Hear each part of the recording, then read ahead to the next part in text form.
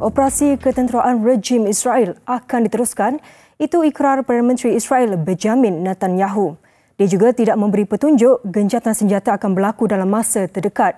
Sebaliknya, tanpa belas ehsan, berkeras menyatakan serangan terhadap umat Islam Palestin akan mengambil masa lebih lama. Terbaru, angka korban operasi ketenteraan rejim ke atas Palestin kini mencecah 109 orang 28 daripadanya kanak-kanak dan 11 wanita.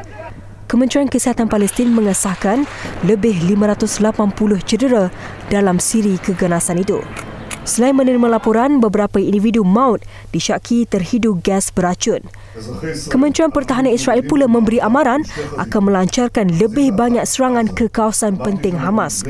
Sehingga kini tiada tanda kekejaman tentera Zionis ke atas Palestin akan berakhir dalam masa terdekat.